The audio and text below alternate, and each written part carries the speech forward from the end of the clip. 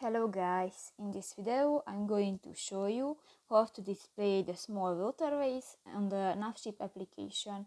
But first of all, I just want to mention, please don't forget to subscribe to our channel because at 100,000 subscribers we are going to show you our YouTube revenue statistics and growth strategy how to make money online. So let's jump into it.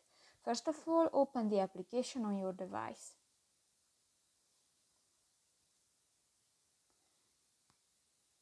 Tap to the three lines at the upper left corner of the screen and go to the settings button.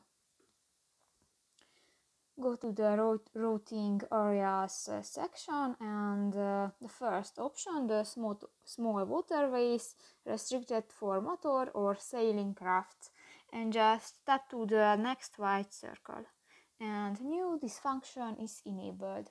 So that's pretty much it for this video guys. See you in the next one. Bye bye.